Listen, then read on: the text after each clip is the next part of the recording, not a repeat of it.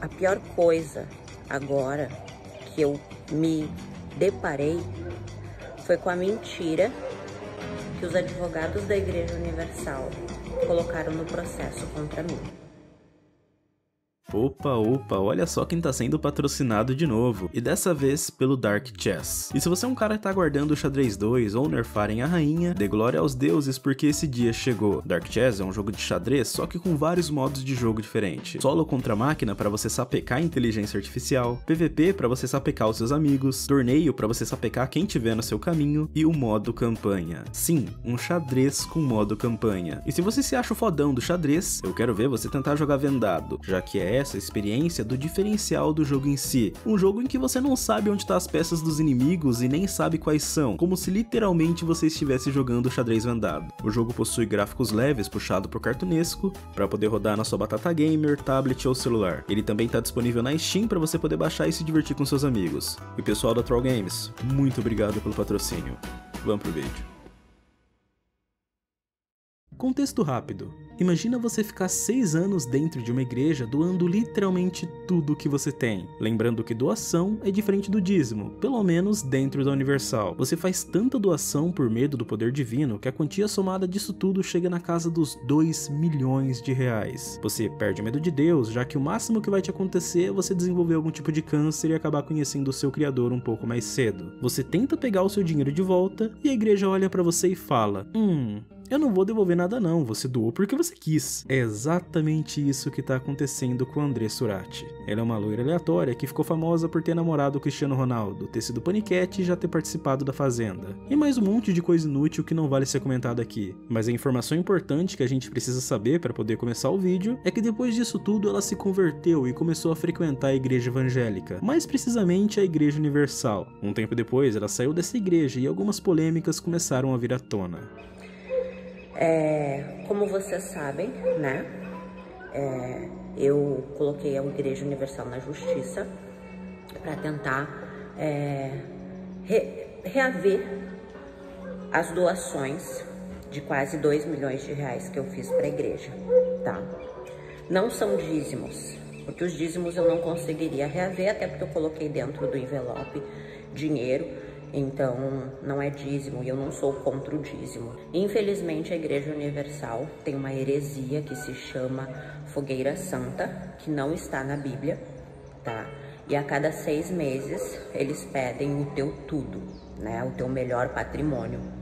Fogueira Santa. É bizarro que de seis em seis meses eles pedem literalmente o seu maior patrimônio. E isso é muito mais profundo do que você pode imaginar. Entrando no site da Universal, existem vários artigos sobre essa tal Fogueira Santa. Lá é dito que a igreja recebe muitas perguntas. É errado ter poupança? Não abri uma, porque vai chegar a Fogueira Santa e eu vou ter que fechá-la para dar tudo. Queria comprar um carro, mas vai chegar a fogueira e eu vou ter que vendê-lo para dar tudo. Então, para que comprar? Como vou comprar minha casa se não consigo juntar o valor para dar entrada? Eu junto algum dinheiro e aí vem a fogueira santa e eu tenho que dar tudo. E o mais surreal é a resposta que a igreja dá para essas perguntas. É impressão minha ou você também percebe que essas pessoas estão vendo a fogueira santa como um peso e não como uma oportunidade para alcançarem os seus sonhos? De qualquer forma, creio que tudo se resume na pergunta mais frequente: se eu der tudo como o pastor fala, como poderei ter alguma coisa algum dia?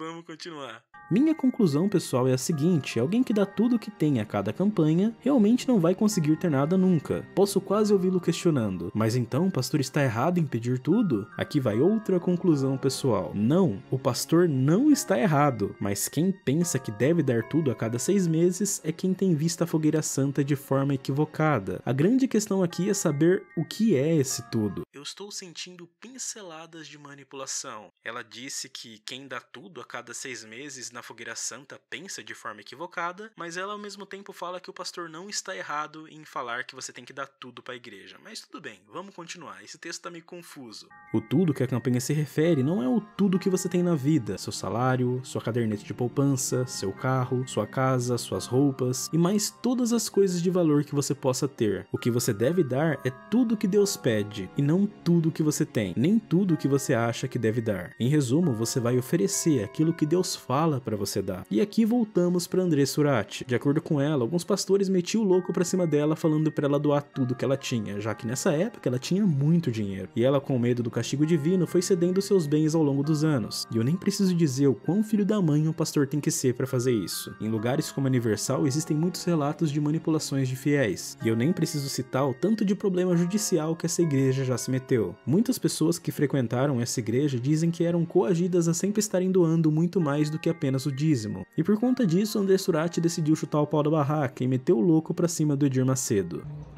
E eu vivi seis anos dentro dessa instituição, com medo de Deus, com medo do diabo.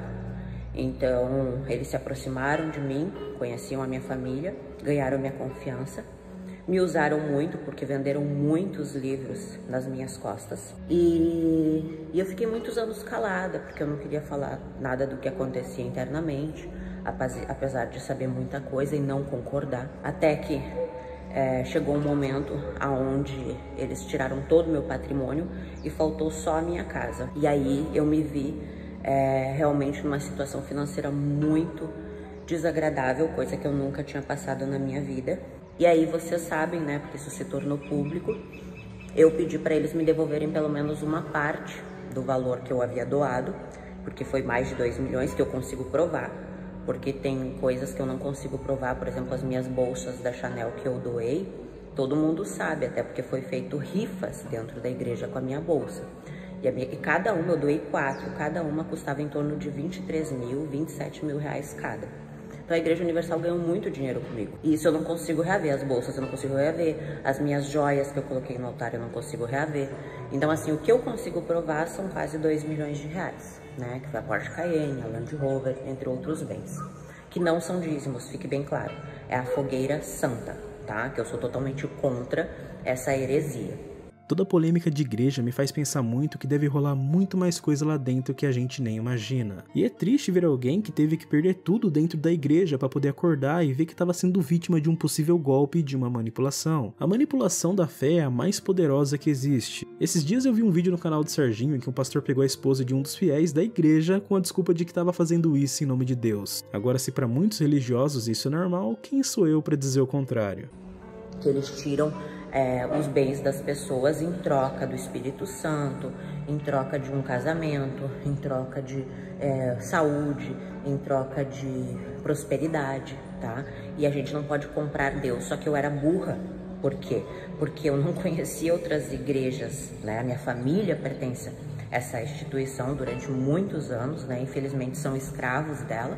Uma coisa que eu achei interessante foi ela dizer que eles tiram algo das pessoas em troca de outras coisas, mas uma delas que me deixou com uma pulga atrás da orelha foi o casamento e a saúde. Eu nem vou gastar argumento dizendo o motivo do porquê casamento arranjado é errado, além de, se eu não me engano, ser proibido, mas prometer saúde é um pouco pouquinho mais delicado do que parece. Primeiro que quem tá indo na igreja buscar esse tipo de coisa tá num nível de desespero tão grande que a única coisa que restou foi ela apelar pro divino. Segundo que pelo desespero a pessoa tá muito mais propensa a acreditar em qualquer coisa que for dita para ela. Eu sei que existem casos de pessoas que estavam doentes e misteriosamente foram curadas como uma espécie de milagre, mas são casos isolados. Quantas pessoas tiveram que morrer todos os dias para que meia dúzia de casos assim surjam por aí? E a desculpa por parte da igreja fica naquela de que, se você não ficou melhor, a sua fé é fraca e você não crê o suficiente. Muitas coisas aconteceram, tá? Que não preciso colocar aqui.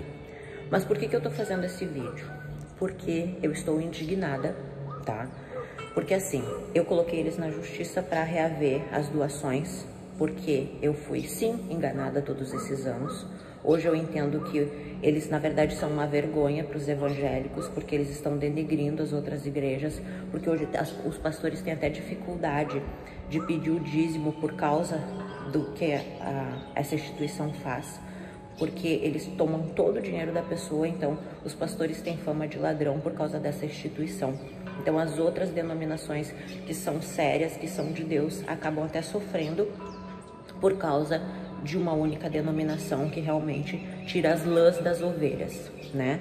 E com Deus não existe isso. Não precisa dar nada para Deus, tudo já pertence a Deus. Não precisa trocar é, bênção por nada. Hoje eu tenho um marido de Deus, de outra denominação, e eu não precisei comprar, eu não precisei fazer voto, não precisei fazer nada. Simplesmente Deus me honrou porque Ele conhece meu coração. Eu tenho um filho e eu não precisei comprar o meu filho. Apesar de eu não acompanhar muito a Andressa, ela também fez outra observação muito importante. Por conta das atitudes que o pessoal do Universal teve, um estereótipo foi criado que os pastores são bandidos ou coisa parecida. Isso me lembra muito o caso de duas pessoas aqui na comunidade que acabaram deixando uma leve marca de que criadores de conteúdo de opinião têm um gosto por adultos rebaixados. Em outras palavras, isso mancha a imagem de quem não tem nada a ver com isso. E esse vídeo é para falar que eles são mentirosos, por quê? Porque os advogados da igreja em vez deles se defenderem no processo, né? Porque eu estou processando eles, é, reavendo o, os meus 2 milhões de volta, eles colocaram várias mentiras no processo. Várias mentiras, tá? Eu até anotei aqui para falar sobre cada uma delas. Em vez deles se defenderem das barbáries que eles fazem, eles estão tentando me acusar de coisas que são mentiras. Olha só. Eles estão dizendo que é como se eu estivesse ocultando meu patrimônio. Quem dera, né, eu tivesse patrimônio para ocultar, porque a Universal levou tudo. A única coisa que sobrou foi a minha casa, que eu tenho em Porto Alegre, tá? Que por pouco eles não levaram, porque eles sabiam do meu sonho de ser missionária, tá? E eu já estava fazendo aulinha lá para ser missionária, já tinha feito até os exames de sangue para isso e que se eu quisesse, eu não poderia estar com a casa no meu nome. E eles induzem a pessoa a dar tudo para a igreja e não para a família, tá? Porque se tu vai fazer a obra de Deus no altar, todo mundo sabe que o pastor e a esposa de pastor não pode ter nada no nome, e eles fazem você dar para a igreja, para você não precisar, você não olhar para trás. Isso aí tá me cheirando trambicagem, mas vindo de pastor e ainda mais do Universal, não me surpreende nem um pouco. Mas ela disse outra coisa também muito interessante, de que pastores não tem nada no nome deles e é tudo no nome da igreja. Talvez seja pelo fato de que igrejas não pagam impostos e não precisam prestar conta nem do dinheiro que sai e nem do dinheiro que entra. Então, olha o que eles falaram no, no processo. Eles me acusaram de ter um carro chamado Camry, tá? Esse carro Camry, eu tive ele há muitos anos atrás, tá? E faz, assim, ó, foi pouco tempo. Até o meu amigo chamado Barbosa, que é um rapaz que eu sempre comprei os carros com ele. Antes da Igreja Universal eu já conhecia ele. Foi na época ele que, que fez a negociação do carro para mim. Segunda coisa, falaram que a casa da praia da minha mãe fui eu que comprei. Quem dera eu tivesse dinheiro hoje para comprar uma casa para minha mãe, porque a casa que a minha mãe mora hoje é financiada e foi ela que comprou, tá? Foi ela que comprou com o salarinho dela, que ela ganha pouquinho. E outra, eu pedi que fosse segredo de justiça. Tu vê que eles são tão sujos que eu pedi segredo de justiça porque eu não queria que nada viesse a público, tá? Mas eles não quiseram. Eles não quiseram segredo de justiça, tá? Aí eles colocaram assim, ó, que eu tenho aplicações em outros bancos que eles olharam, não sei como, né, que eles entraram num extrato e, e viram que tinha um depósito de um banco. Sabe que depósito é esse? Do YouTube. Do YouTube. Do YouTube. Para vocês terem ideia, eles estão me acusando de ter conta de aplicações, como se eu estivesse rendendo dinheiro tipo assim, como se eu tivesse aplicações financeiras e outros bancos, sendo que é o que eu ganho do YouTube. É muito bizarro a igreja, ao invés de se defender, fica acusando o outro lado. Eu não entendo muito de direito, porém, todavia, entretanto, existem muitas manobras que são utilizadas no mundo jurídico para poder atrasar alguns processos. Talvez seja isso que esteja acontecendo. Mesmo que a Universal seja condenada a pagar toda essa grana, muito provavelmente serão muitas parcelas de valores extremamente baixos. Que eu vi vocês colocando um pastor que é advogado para servir de testemunha num processo de uma moça, de uma senhora que está tentando reaver as coisas de volta. Porque eles são espertos, gente. Porque tem a parte das testemunhas, tá? No processo. Eu coloco as minhas testemunhas e a igreja coloca as delas. Sabe o que eles fazem? Eles colocam advogados, que são pastores da igreja, para falar com os juízes, para enganar e eu tenho como provar, porque eu tenho vídeo, eu tenho acesso a esse, a esse processo dessa pessoa, entende? Isso é um absurdo, isso é, isso é mentira. E eu fico me admirando porque eu conheço esse pastor, tá?